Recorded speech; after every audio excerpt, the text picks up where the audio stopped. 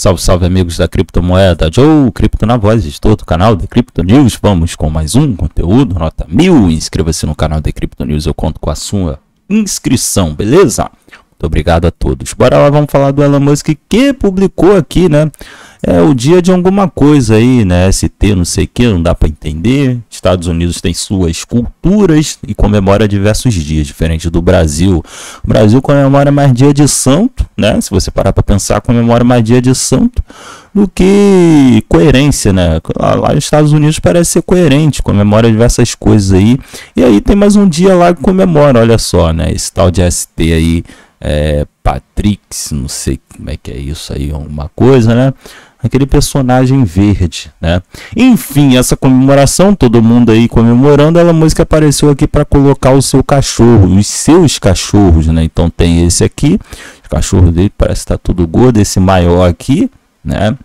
E esse, esse aqui a gente conhece esse do meio aqui, né? Ah, claro, sim, sim, né? não é segredo. Esse aqui é o Flock, ah, você não conhece não? O Flock, cachorro do Elon Musk, adotou pequenininho, como é que ele já tá grande, ó. Flock é o cachorro Shiba Inu do Elon. Aí o Dogecoin dele, né?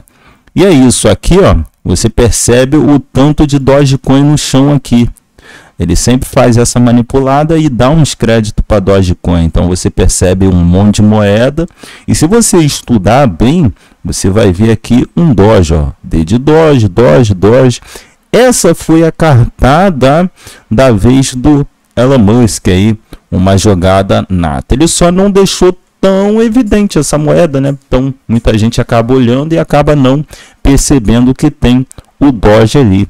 Lógico, evidentemente ele queria dar ali uma, uma, manipulada ali no mercado, né? Uma controlada, mas não funcionou muito que o mercado ele está desabando mesmo. Essa publicação foi feita aí ontem, né, no dia 17 aí.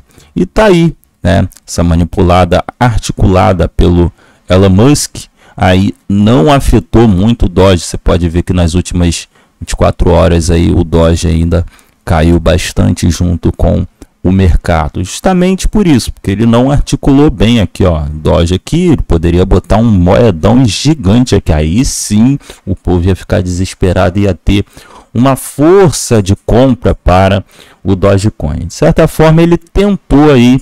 E o Flock, por exemplo, que o Flock está ali presente, o token em homenagem ao cachorro dele, também não, é, não é, recebeu essa, essa mensagem para si, ou seja, não adiantou de nada, o Flock também continuou caindo. E só hoje 15% de queda, o gráfico nas últimas 24 horas mostra um desabamento enorme, né? Ou seja, não funcionou também, tá?